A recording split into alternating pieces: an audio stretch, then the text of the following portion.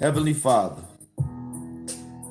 the Creator of the heavens and the earth, the Most High God of Abraham, Isaac, and Jacob. Father, I just come before your throne.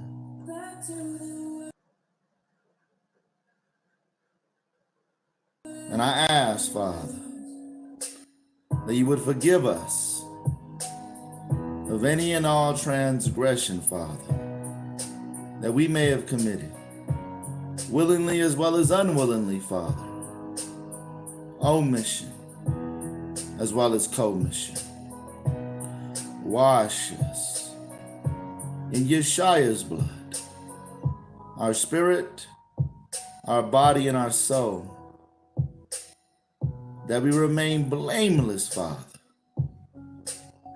until the day of your coming.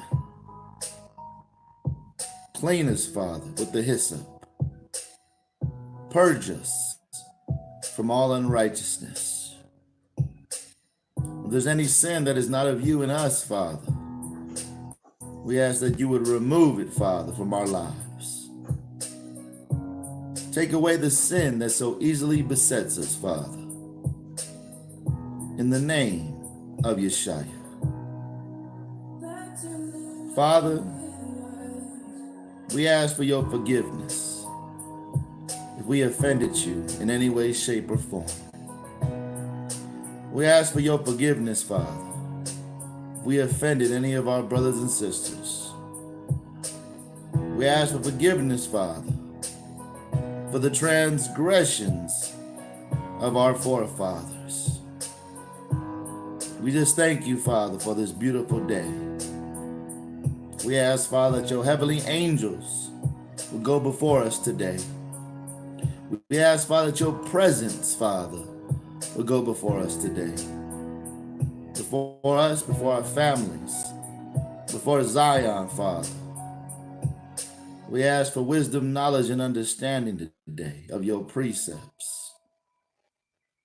We thank you, Father, for all those that you have, have left us for an example to follow your gospel, Father, in these last days. Thank you for all that you're doing in this earth as we preach repentance and baptism. You are bringing the natural disasters to this earth. We thank you, Father. We see your hand, Father, fighting for us. We will continue to do our part, Father, in these last days.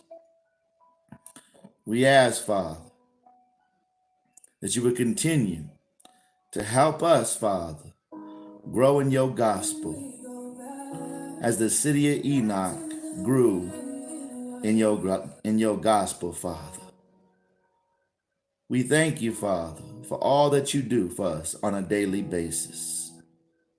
We ask, Father, in the name of Yeshua, that you would keep Zion in the palm of your hand, Father, as we see the days approaching, Father.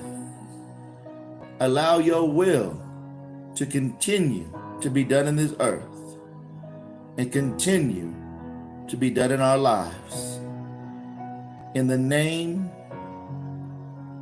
of Ahaya, Ashar Ahaya, Bahashim Yeshaya, Ruach Qadash so be it.